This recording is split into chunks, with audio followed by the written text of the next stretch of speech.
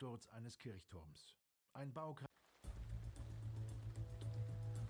Ja.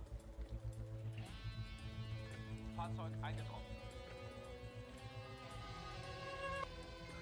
Bestätigung von der verletzten Person ist in Arbeit. Einer unserer Feuerwehrmänner sollte es eigentlich schaffen. Kein Problem. Den Balken da wegziehen.